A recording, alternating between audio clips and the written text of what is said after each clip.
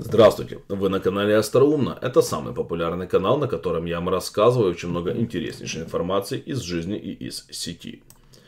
Обычно мы считаем, что в гранате самое полезное это сок и зерна. Но оказывается, что даже их корки полезны для здоровья.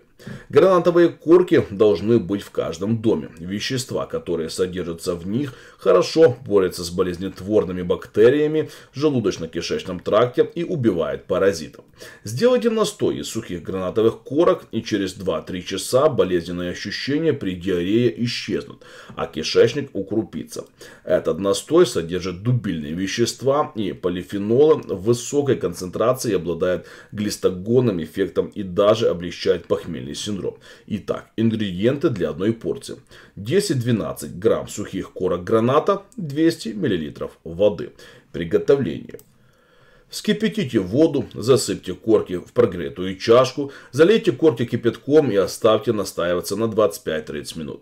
А процеживать жидкость не следует. За первый прием необходимо выпить половину порции. Через 10 минут вы почувствуете облегчение. Если этого не произошло, через 30 минут после первого приема выпейте половину оставшейся части и через 30 минут оставшуюся. Это средство обладает высокой аллергенностью, поэтому детям нужно давать его с особой осторожностью и в меньшей концентрации. Предварительно проконсультируйтесь, конечно же, с врачом.